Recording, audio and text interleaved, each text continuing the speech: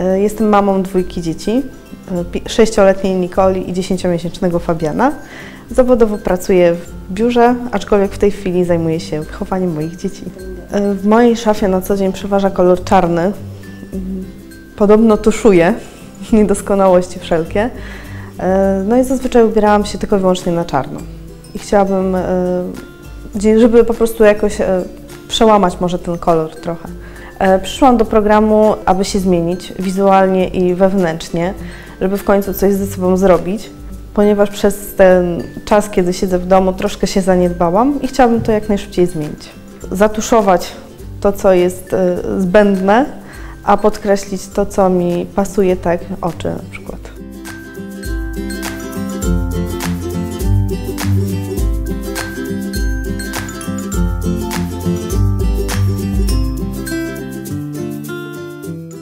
Dla Sylwii przygotowaliśmy e, zestaw czarny, ale dodaliśmy do tego e, kolorowe dodatki, żeby rozświetliły i dodały koloru.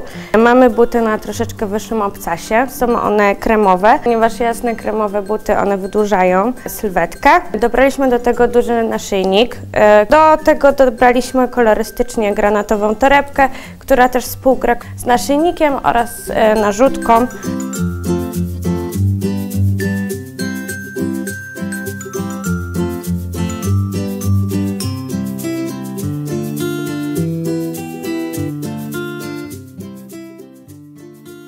Sylwia ma okrągłą twarz, dlatego zrobiłyśmy jej grzywkę asymetryczną na lewą stronę, e, żeby optycznie tą buzię wyszczuplić. E, Do tego ścięłyśmy włosy e, za linię ramion.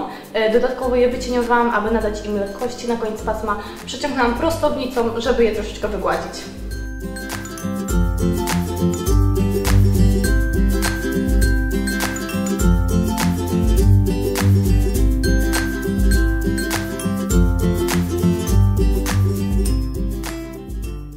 Makijażu użyłyśmy kremowych podkładów, żeby wzmocnić konturowanie. E, Zrobiłyśmy klasyczny makijaż z wyciągniętą kreską, do czego użyłyśmy czarnego cienia. I zrobiłyśmy usta w kolorze soczystej fuksji.